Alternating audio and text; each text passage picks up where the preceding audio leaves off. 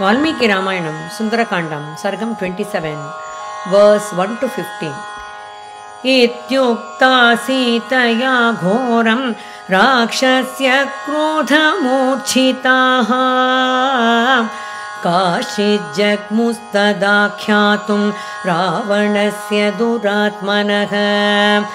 ततः सीतामुपागम्य राक्षस्यो घोरदर्शनाः पुनः पुरुषमेकार्थमनतार्थममथा ब्रुवन् अद्येदानीं तवानार्ये सीते पापविनिश्चये।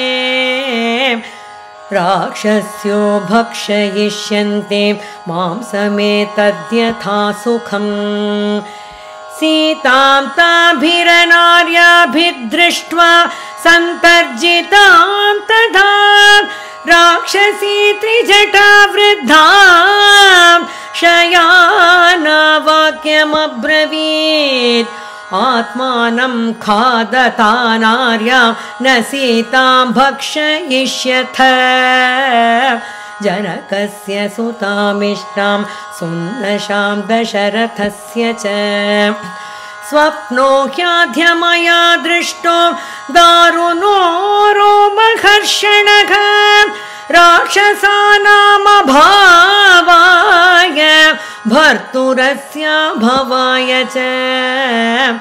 एवमुक्ता स्त्रिजटया राक्षस्य क्रोधमूर्छिताः।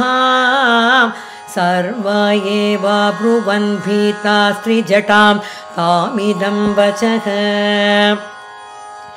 कथयस्व त्वया दृष्ट स्वप्नोऽयं कीदृक्षो निशि। तासां श्रुत्वा तु वचनं राक्षसीनामुखाच्युतम् उवाच वचनं काले त्रिजटा स्वप्नसंश्रितम् गजदन्तमयीं देव्यां शिबिकामन्तरिक्षगाम् युक्तां हंस सस्त्रेण स्वयमास्थाय राघवः। शुक्लमाल्याम्बरधरो लक्ष्मणेन सह गतः। स्वप्ने चाद्यमया दृष्टा सीता शुक्लाम्बरावृता सागरेण परिक्षिप्तं श्वेतं पर्वतमास्थिता। रामेण सङ्गता सीता भास्करेण प्रभायथा राघवश्च मया दृष्टश्च दुर्दष्ट्रं महागजम्। ततस्तौ नरशाधूलौ दीप्यमानौ स्वतेजसा शुक्लमाल्याम्बरधरौ जानकीं पर्युपस्थितौ।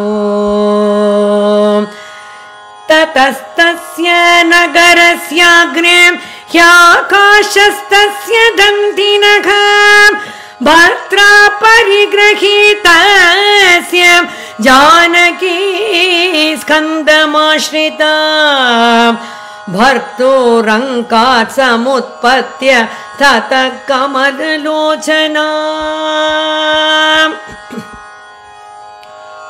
Valmiki Ramayana, Sundarakandam, chapter 27, a brief summary of verse 1 to 15.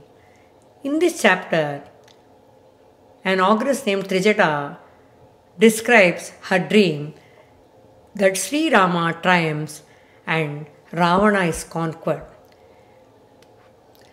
When Sita spoke the words in the last sargam, the Rakshasis became angry and some of them went to tell that Ravana about what Sita told. Then a Rakshasi with a terrible appearance neared Sita and spoke words of evil purpose. She said, O sinful Sita, today at this moment all of us will eat you.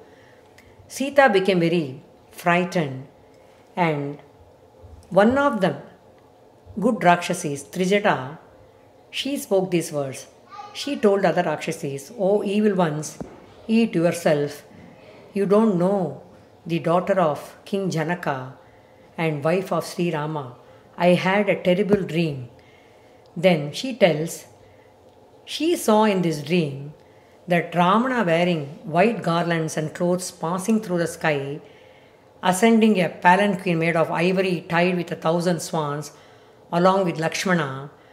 Now Sita was also wearing white clothes, was sitting on a white mountain surrounded by the ocean.